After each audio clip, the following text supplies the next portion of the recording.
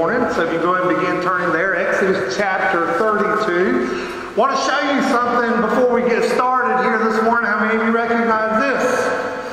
All right. How many of you use this on a pretty regular basis? All right. Nice and easy, right? Nice and quick. Okay. And actually, this is corn muffin. Of course, they do all different kind of flavors, you know, stuff like that. But actually, your cornbread's pretty tasty if you do it right. I'll tell you a little story. My wife's knows where I'm going with this this morning.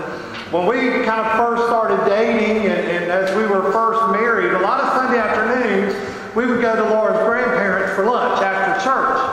And uh, we always had basically the same thing. We had roast beef, which was always good. A little dry because they cooked it forever, you know.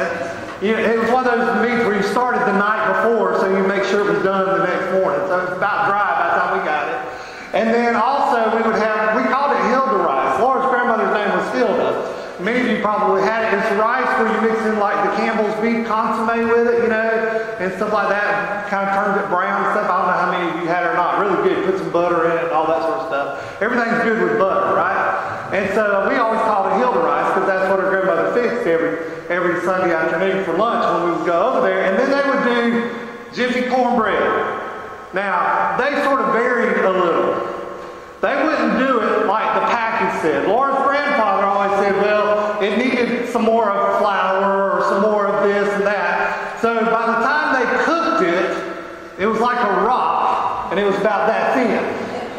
Okay? You think about that this morning, kind of the way a lot of people do with God, is it not? You know, when we understand and accept God for who He is, then life, uh, it's not easy, but it becomes easier to endure.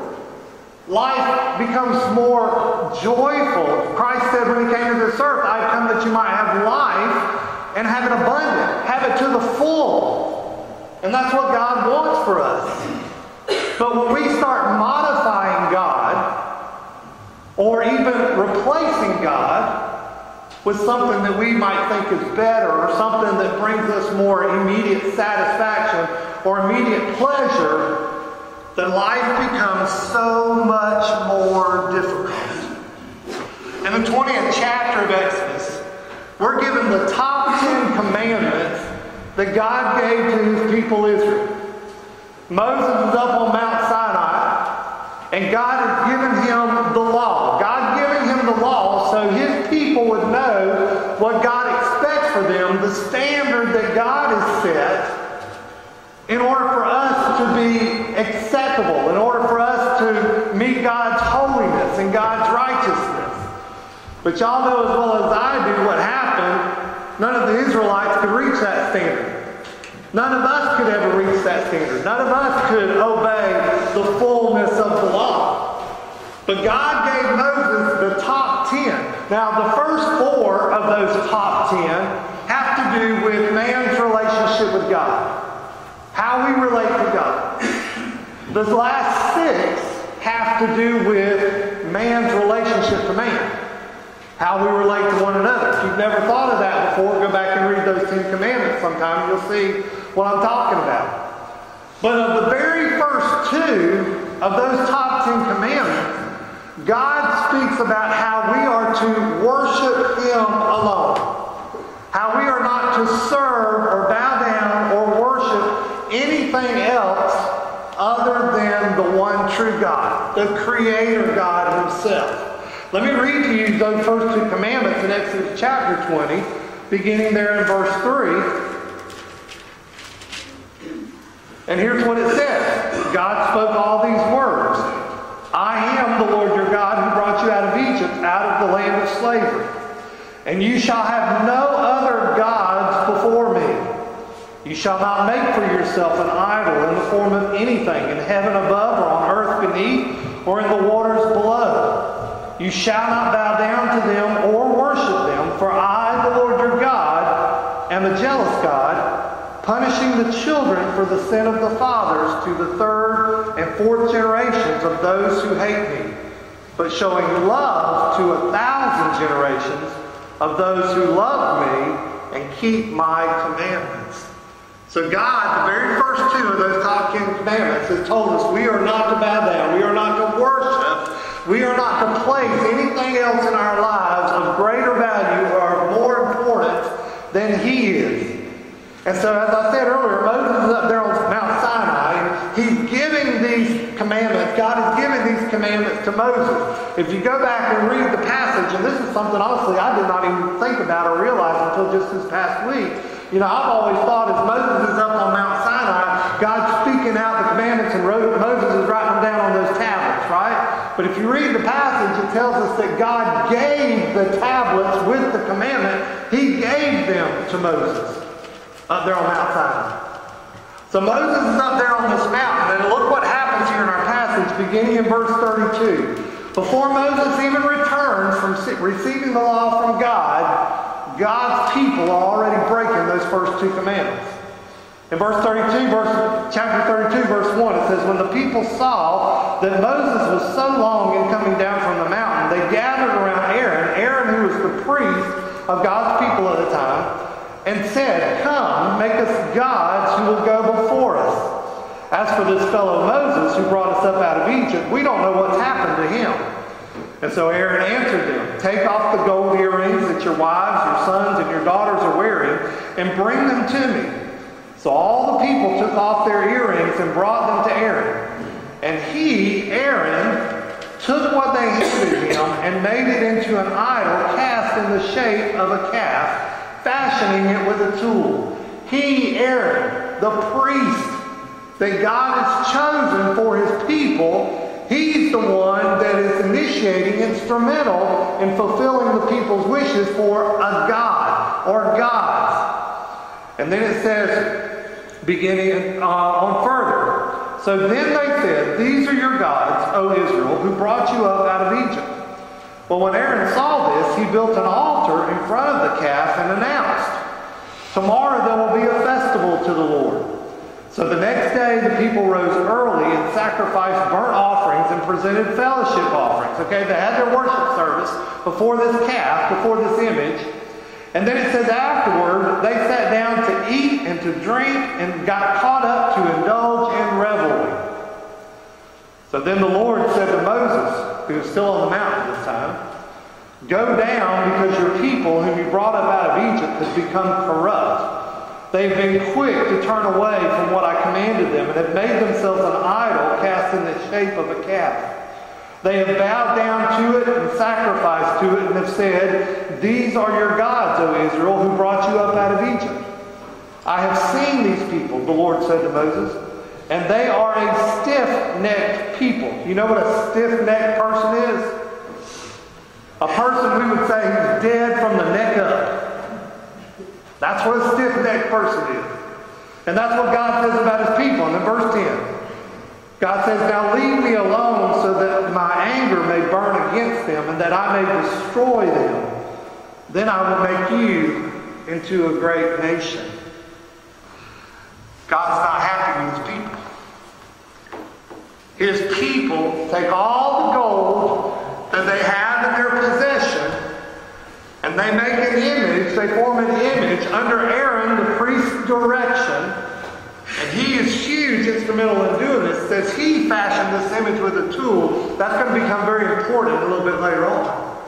But he fashions this image. And then he says we're going to worship, and then tomorrow we're going to have a party. We're going to have a festival. Now, some of you guys can see kind of nod your heads. Like, what a shame how bad God's people were. but you know what? We human beings, even in this day and age, we are just as guilty as the Israelites are. In verse 1, they said, Make us a God who will go before us. They want gods, little g, plural, gods, not just one that will lead them. And we human beings, being just as guilty, many times we create our own quote unquote sacred cows that become more important in our lives. more important than God, that we ultimately give our devotion to. And those sacred cows, they can be tangible, tangible objects or they can be intangible objects. And what are some examples of those sacred cows that we might set up? And you can probably think of many more than I mentioned. But monetary, material possessions. You know, I, have seen people and I know people, some of you may know these same type of people, they don't want to get rid of their stuff. They need to hold on to it. They might need it someday. And 50 years down the road, no, I can't get rid of it. I still might need it someday. They like holding on to their stuff. Another example, and basketball players, I didn't put this in here just for y'all this morning. I put it in for all of us. But sometimes our sacred cows become a recreation or our sports or, or maybe some of you that are, you know, workout fanatics, maybe physical fitness becomes your sacred cow. Another example, time. I like my time. I want to do with my time what I want to do. One more example relationships. Sometimes relationships in our lives can become our sacred cows. Men, don't refer to your wife as a sacred cow. it might not go well with you the rest of the day. But sometimes relationships, yes, they can become sacred cows.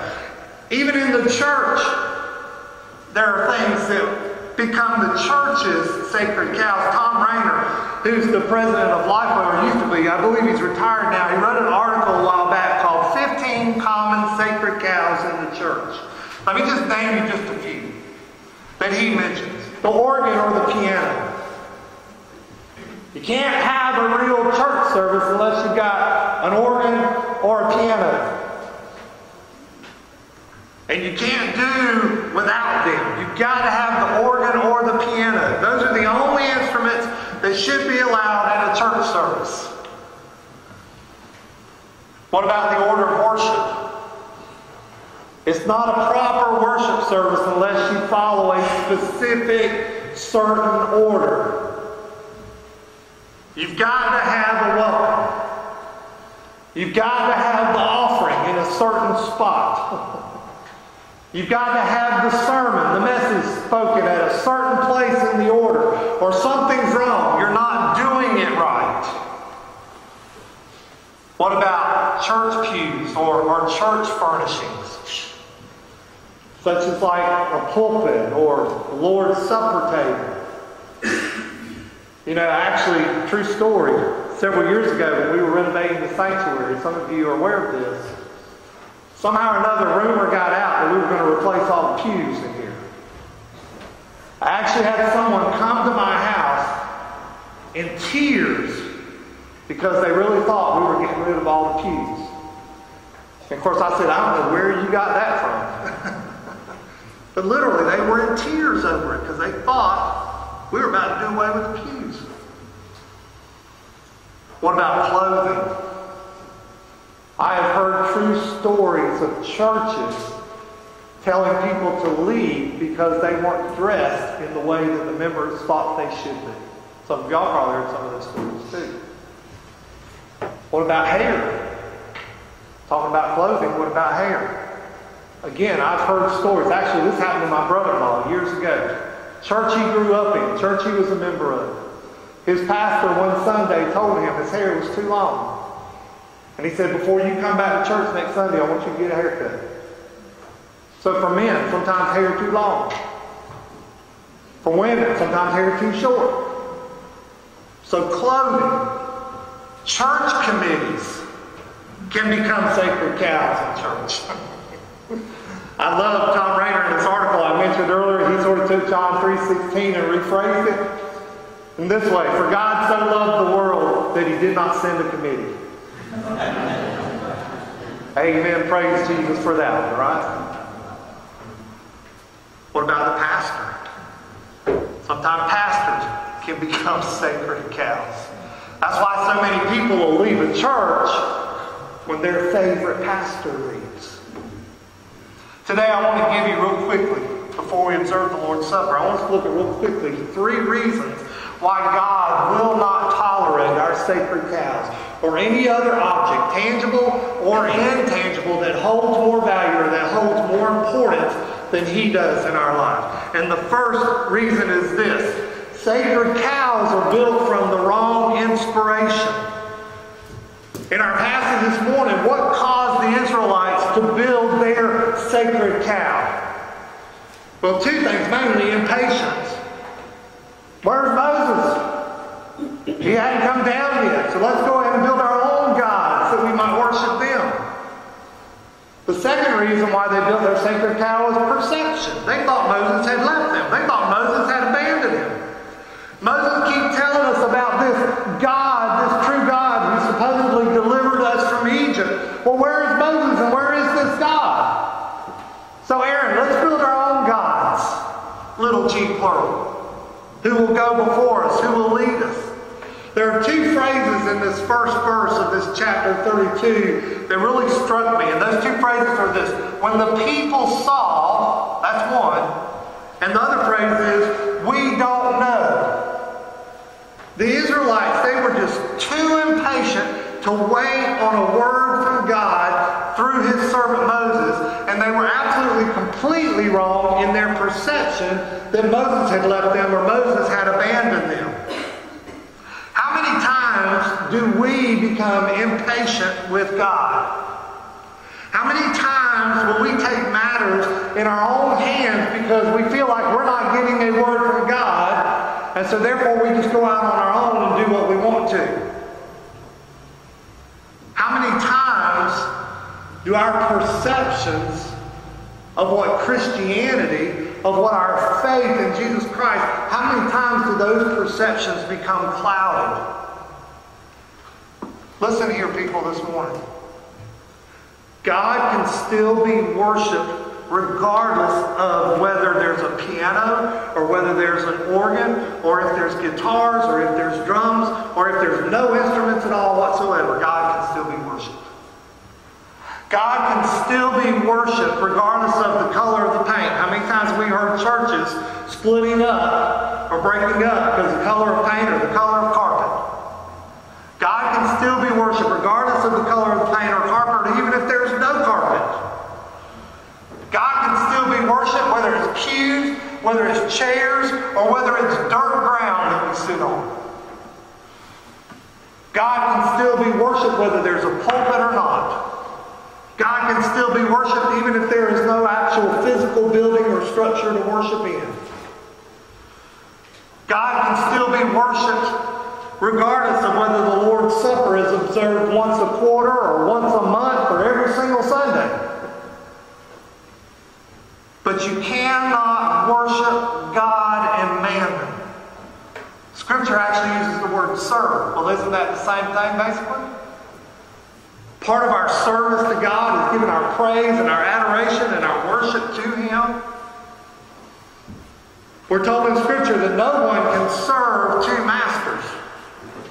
You're either going to hate one and love the other, or you're going to be devoted to one and despise the other says no one can serve God and money or mammon. It literally that you cannot be a slave to, you can't be a servant of two things.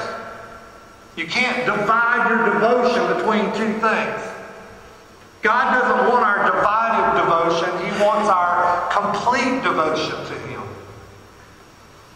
So our personal sacred cows are those parts of our life to which we are more devoted to than God. And the first thing, the first reason why God will not tolerate them is because they are built from the wrong inspiration. The second reason is this sacred cows are built from the wrong focus. Let me ask you a question right now. What are you focused on right now, this very moment?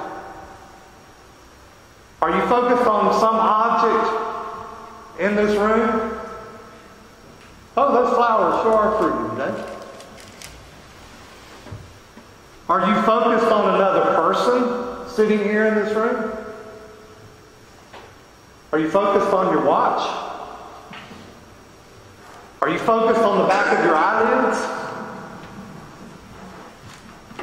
The people commanded of Aaron, make us gods who will go before us. They wanted a God that was convenient. They wanted a God that they could be comfortable with. They wanted a God that they could control. They wanted to worship where they pleased and when they pleased and how they pleased. In Revelation, we read a passage up in heaven where all the martyrs at one time, at one point cry out to God, cry out to Jesus, when, O oh Lord, will you avenge the blood that we have shed on behalf of Christ for the sake of Jesus Christ, our Lord and Savior? You know, I have to think about that passage and I think, you know, if, if our faith, if our, our relationship with Christ was supposed to be convenient and it was supposed to be comfortable and it was something that we can control, then God all owes all of those martyrs up in heaven a big apology. Bill Hybels, who's the senior pastor at Willow Creek Church in Chicago, Illinois, in his book, Who Are You When No One's Looking, said this. Every single day we make choices that show whether we are courageous or cowardly. We choose between the right thing and the convenient thing. Sticking to a conviction or caving in for the sake of comfort, greed, or approval. We choose either to take a carefully thought out risk or to crawl into a shrinking shell of safety, security, and inactivity.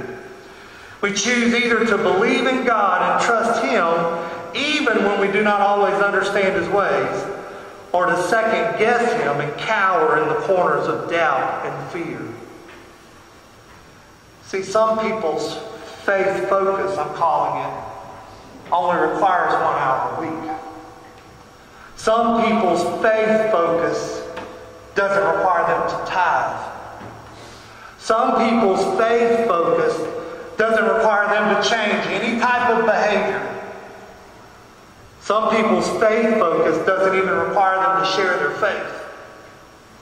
Some people's faith focus doesn't require them to do anything but to come and sit on Sunday morning. See, sacred cows are built from the wrong inspiration and also the wrong focus. And here's the last reason sacred cows will always lead to the wrong outcome. If we looked at our passage this morning, what were some of the wrong outcomes that came out of them building this image of this calf? Well, the first wrong outcome, it was empty worship. See, worship of a cold and dead and lifeless object will lead to a cold and dead and lifeless worship. See, God created us for a meaningful personal, intimate, close relationship with Him. He did not create people to honor or to observe a cold, dead, and lifeless religion. The second wrong outcome was just an inappropriate lifestyle. Now, this may seem strange to quote this person this morning, but Napoleon Bonaparte once said, if Socrates entered the room, we should rise and do him honor. If Jesus Christ entered the room, we should fall down on our knees and worship him. See, entering into a true relationship with Jesus Christ and true worship of God the Father, God the Son, God the Holy Spirit, that should truly be a real life changing experience. The last wrong outcome was false testimony.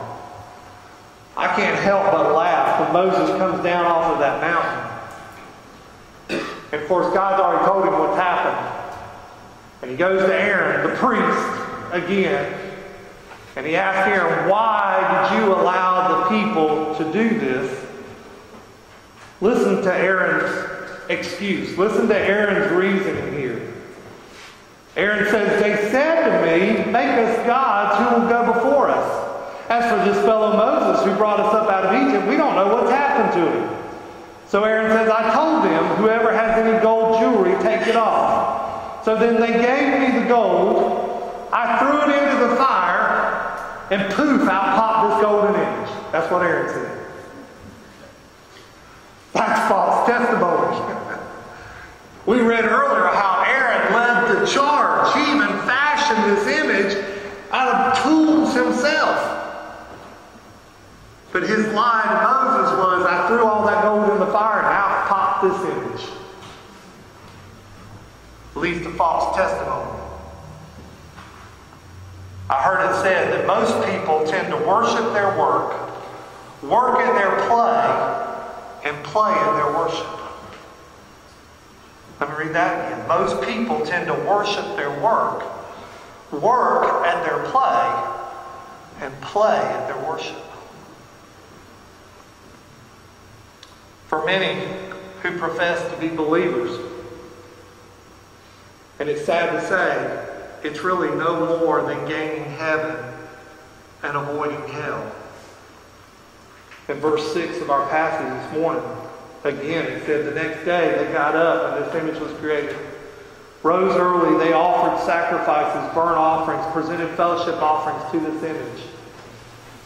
And they couldn't wait to get that done because then afterwards, they sat down to eat and drink and they got up to indulge in revelry.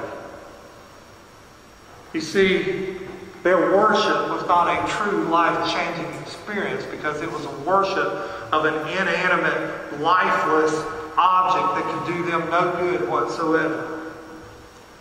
But it was a worship. It was a God, little g, that they could control, that they could be comfortable with, and they could still live their life however they wanted to. See, their sacred cows were things of this world that's only temporary and only fading away.